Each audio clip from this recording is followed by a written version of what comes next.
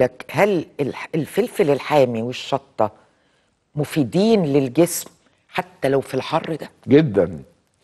الفلفل الحامي أو الشطة بس طبعا علينا إن إحنا ناخدهم بالمقادير التي لا تضر القناة الهضمية المعدة أو ال- المريء أو القناة الهضمية بوجه عام لأن ممكن تعمل لي قرحة. آه. فيبقى أخدهم بالقدر المعتدل.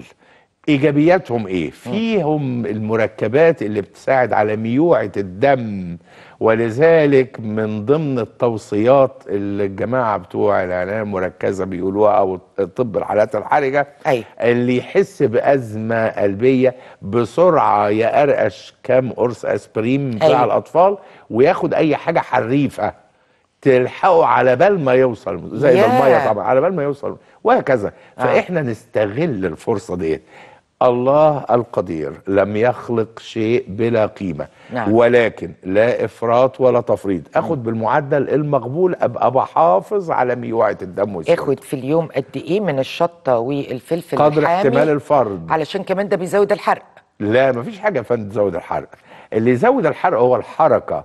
يا فندم حركة العضلة هي مكنة الحرق في الجسم. ما كانش حد غلب. حضرتك إحنا مش صح. إن الحرق يعلى. مش صح إنه ينزل لازم يكون مظبوط. يعني ال- الفلفل الحامي والشطة يخسسوا؟ لا مفيش حاجة اسمها يخسس. يحافظ على ميوعه الدم والصحة وعدم التجلط ودي. ميزة وده الأهم. آه، طبعا. ده الأهم. طبعا. أيوة. مفيش حاجة تخش البق تنقص وزن. آه. إحنا بنهزر. بنهزر. طبعا. آه. ال- السمنة أنواع كتير يا فندم. البدانة أنواع أيوة. كتير. أيوة.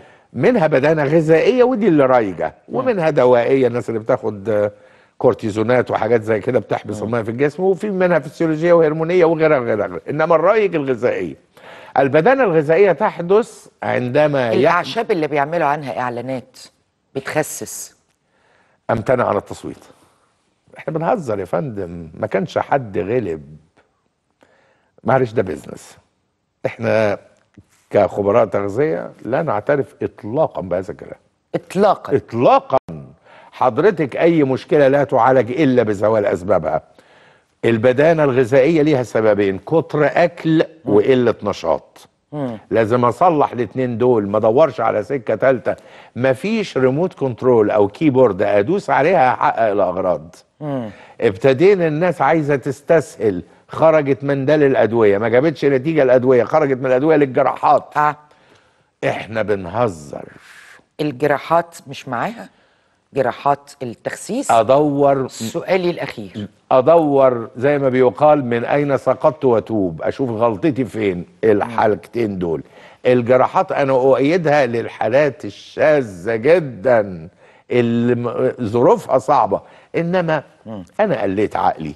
وكلت لقمتين ثلاثة زيادة عبر 30 40 سنة. وكسلت وبدل ما أقوم أعلي واوطي التلفزيون جايب له remote control مش هين عليها أتحرك. خلاص يبقى أصلح نفسي.